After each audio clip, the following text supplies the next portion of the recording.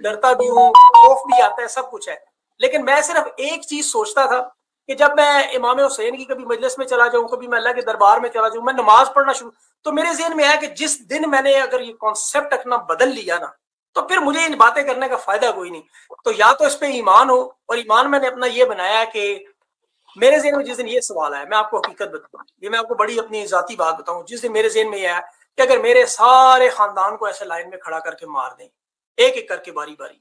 मैं एक इंच भी नहीं हटूँगा क्योंकि मेरे जेन में आया कि ये अल्लाह की जात मैं बिल्कुल दुरुस्त खड़ा मैं गलती हो सकती है। मैं इमरान खान को कुछ देवता नहीं मानता। इमरान खान एक रहनुमा है एक नज़रिया है और मैं तो तरीके साहब का मेंबर भी नहीं हूँ ना मेरा किसी के साथ कोई जाती तल्लुक है। ये सिर्फ़ एक नज़रिया है जो भी शहबाज भाई ने बात की हक और सच की हक और बातिल की ना भी हो सच और झूठ की है। तो जिन लोगों को हम मानते हैं वरना फिर उनको मानना छोड़ दे फिर हम। फिर हम कहने हमारा कोई मज़हब नहीं है। ठीक है